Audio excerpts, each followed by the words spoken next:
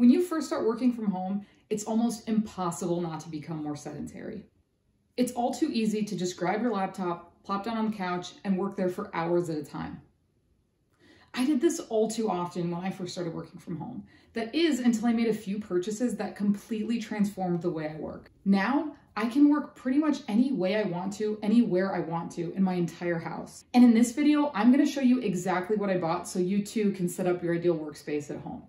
Let's get into it. The most versatile piece of equipment by far is this adjustable stand that you can get for under $50 on Amazon right now. This stand instantly opened up a whole new portfolio of working positions for me. Obviously, the main way to use this is to convert your regular sitting desk into a standing desk, but you can also use this if you want to sit on the floor and stretch while working. I've been wanting to work my flexibility for the longest time, but I never seem to make the time for it. Now I just make sure to adopt this position a few times a day and voila, my flexibility has improved dramatically without having to carve out any extra time. Now, the coolest way that I've used this is to convert my treadmill into a walking desk. I'm aware that most of you guys won't be able to do this, but if you do have a treadmill, I highly suggest getting one of these and trying it out.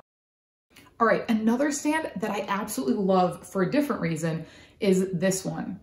So basically what it does is it puts your laptop on an incline to make it more ergonomic because it puts your wrists at a better angle while you're typing.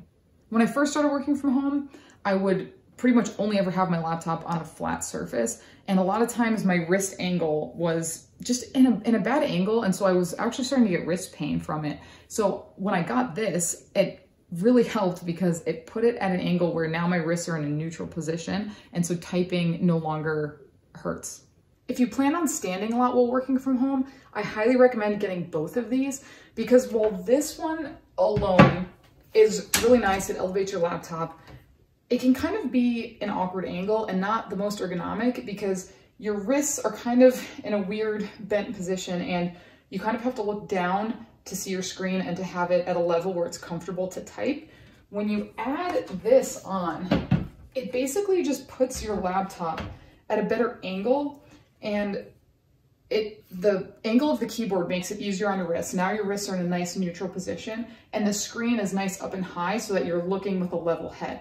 So this just makes it a lot more ergonomic, comfortable to be in. I can work in this position for a very long time and not get stiff or uncomfortable like I was before I had this edition. All right, so now it's time for my absolute favorite position. So this last thing that I bought, which a lot of you might already have, is an exercise ball. And basically what I do is I take the stand that puts my laptop at an angle and I put the exercise ball under it. And basically it makes it so that I can bounce a little while I'm working. And I know it looks really, really weird, but guys, like I'm telling you, this is such a game changer. I love using this because anytime I start to feel a little drowsy or fatigued, I just change my setup and I use this one. And suddenly I get like reinvigorated and working is a lot easier. Now, I will say that when I first started doing this, I was actually on a video call and my coworkers were wondering why I was bouncing up and down on the screen. I hadn't even realized that I had just started bouncing. So when you first start using this, maybe ditch it when you get on video calls. Now, another reason I love this thing is because even if you're not bouncing, it requires you to sit in an active position. A lot of times when we sit at our desks, in a stationary chair, it's really easy to slouch and adopt bad posture.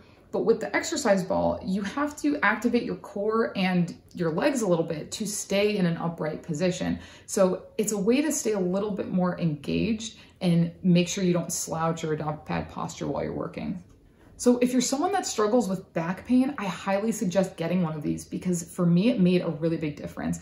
I used to struggle with lower back pain and sitting all day really didn't help. So this exercise ball helps because it keeps your muscles a little bit more engaged and so you're less likely to feel that strain in your low back. All right, I hope that helped you guys with giving you some new ideas on how you can work from home and be a little bit more active.